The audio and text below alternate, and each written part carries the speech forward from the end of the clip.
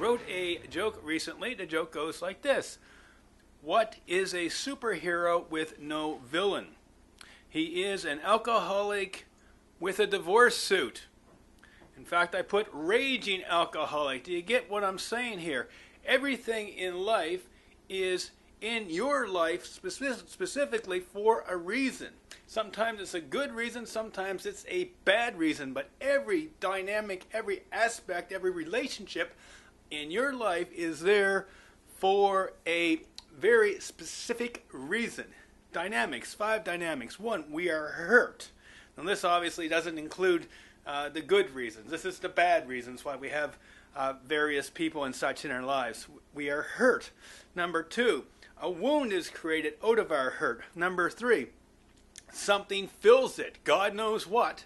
It's very interesting. A little child really isn't very uh, discriminating in terms of what he brings in his life or her life. That is why we need good parents.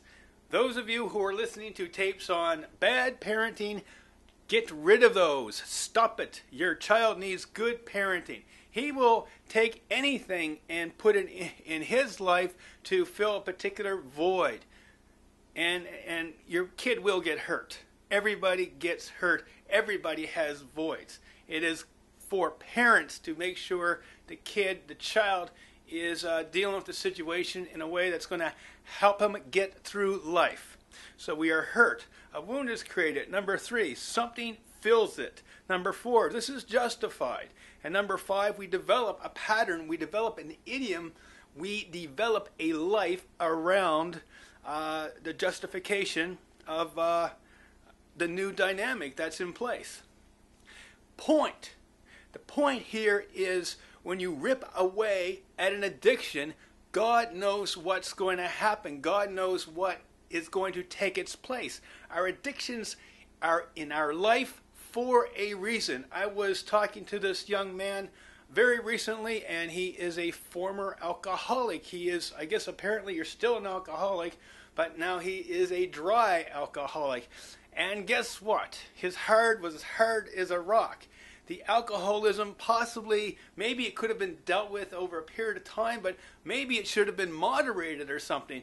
Eh, because that's what happens. You do not know when you take something that's deeply rooted in your life and you rip it out of your life, you don't know what kind of pattern, what kind of other addiction is going to come in to take its place. Sometimes we are left with addictions far greater than the ones that are taken care of. How do we deal with addictions? Five dynamics. One, we find love, as opposed to find somebody who is going to surgically or otherwise remove a part of our personhood.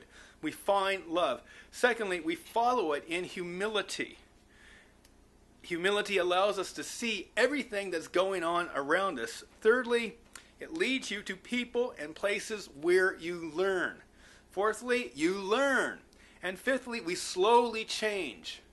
Fact of the matter is, what we learned about addictions for the most part does not work.